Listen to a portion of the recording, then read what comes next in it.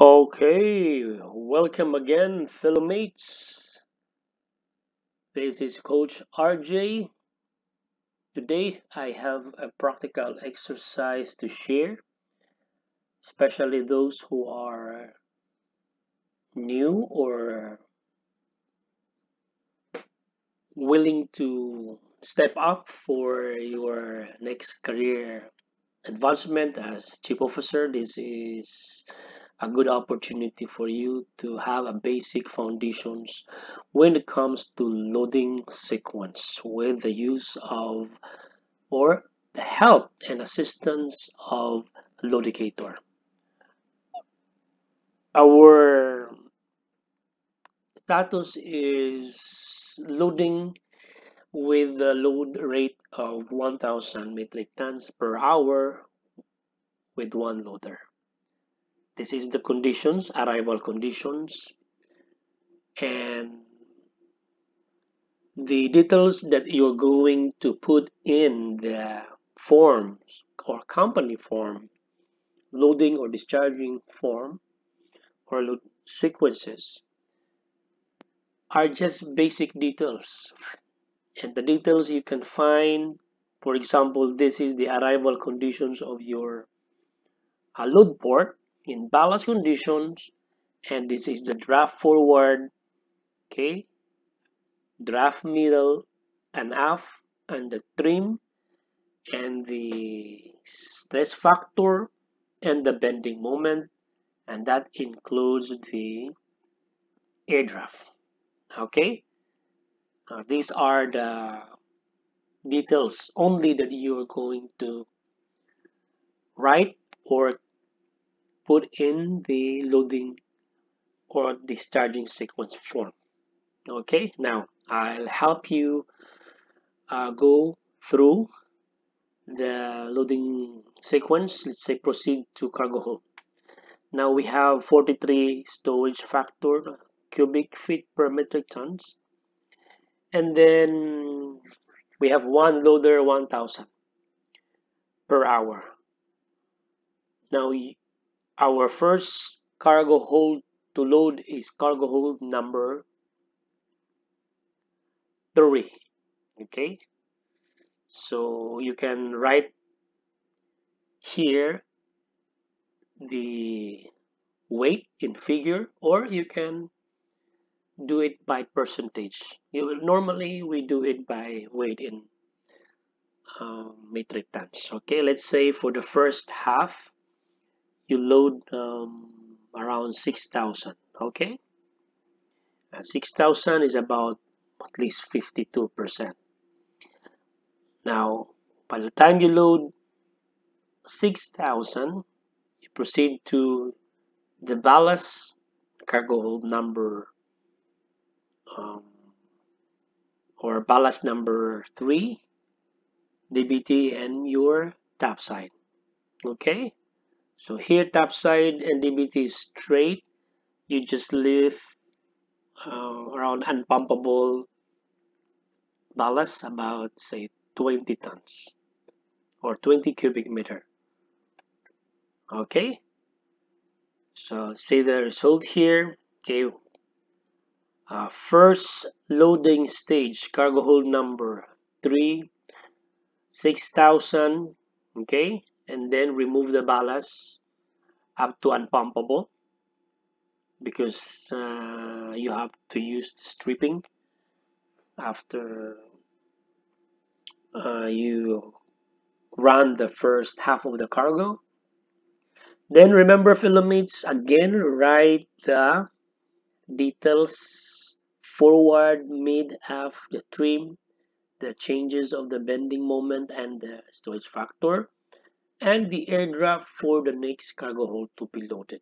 Now, if your target is to load cargo hold number 5, then you have to look over the air draft of cargo hold number 5, which is you have to write in the um, loading sequence form. Okay, let's go back to the ship status. Now, our next loading sequence cargo hold is number 5 now let's proceed to cargo hold number five. Same a weight of cargo loaded. Okay 6000 in six hours you complete the 6000 okay same time you have to discharge cargo hold or WBT and topside um, number 5 with 20 cubic meter and 20 cubic meter. Okay? Now this is the status. Once again you have to look over the details here. Middle and 8 in your trim. So you have trim by stern negative 2 and there's a changes a little bit on your bending moment and your stress factor. And look over again on the next cargo hold to load. Okay now our target to load is cargo hold number 2 so you look okay cargo hold or hot scrubber top 16.38 all right now let's proceed to cargo hold number two or let's say you proceed to cargo hold number one. Okay let's say cargo hold number one. Uh, say 6000 okay. Now you have negative okay trim. Of course you're not done yet. Don't be panic. Proceed to your ballast. And then remove the ballast number one with remaining cubic meter 20 20 okay see the trim? That is your trim now with 0.6 okay by the head but you can also discharge your perfect at the same time okay with say two tons remain for example so that's it. You have trim by the stern about 64 centimeter. Okay that's also a good conditions.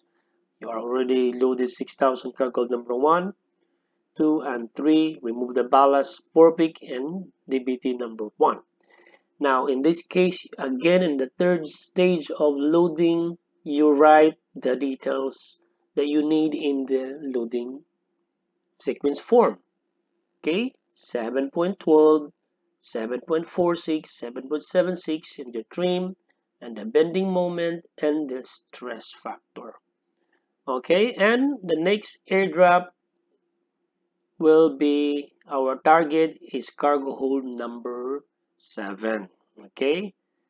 So number seven is 15.26 now let's proceed to cargo hold number seven we load again 6000 here.